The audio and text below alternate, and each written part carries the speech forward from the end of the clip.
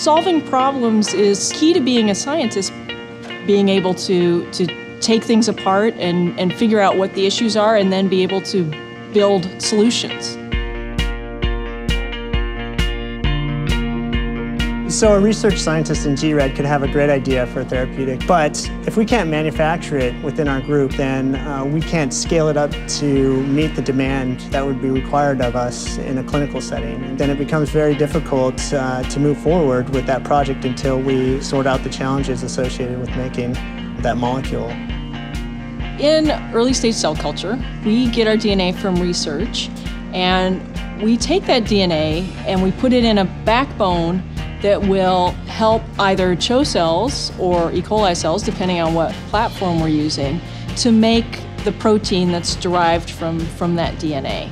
Sometimes we'll manipulate the backbone and or the, the molecule itself to help the cells make a lot more of it because that's our goal. We want our cells to make a lot of, of the protein that's derived from this DNA. If you just took the ampule of cells and went to manufacturing, you could run into a lot of problems. So we do a lot of testing at the lab scale to figure out what the cells like best, what process will work the best in manufacturing before it transfers. Over the years, when we work with a lot of different cell lines, you can see that each one reacts in a different way under the same conditions. So some cell lines are slow growers, some are fast growers, some like a lot of nutrients, some don't like a lot of nutrients.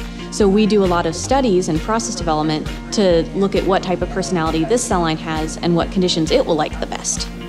Uh, our patients really rely on us to provide them with new and novel therapeutics that, would, that will be efficacious. And if we're unable to manufacture those therapeutics, then we're letting down our, our, our patients.